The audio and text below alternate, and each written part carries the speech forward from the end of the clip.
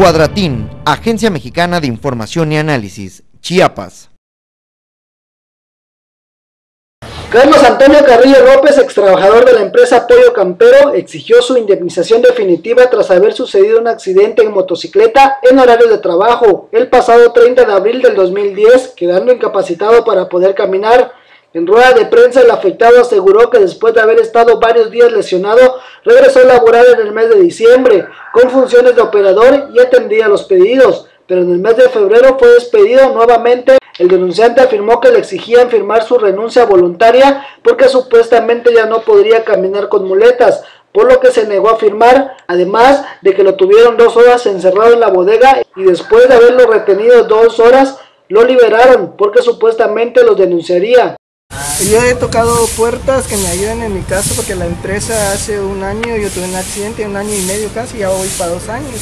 Y este, nada más me querían dar 9 mil pesos de liquidación pero ahorita yo no acepté, me querían hacer firmar renuncia voluntaria, a base de jalones me querían llevar a lo que es a la bodega seca, el cual yo no acepté.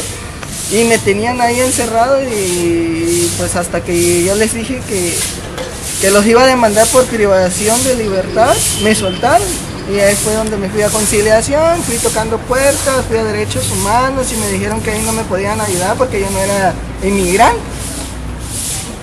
Y ahorita pues no sé qué hacer porque no me quieren resolver. Aparte tengo un seguro de vida que no me lo han liberado. Quieren que yo firme renuncia para que me liberen el seguro de vida. Pues ya no sé qué hacer. Yo necesito ahorita pues mi situación económica está, o sea, yo estoy viviendo con mis papás. Mis papás me están echando la mano, yo no tengo entrada de dinero más que los 1529 que me da el seguro.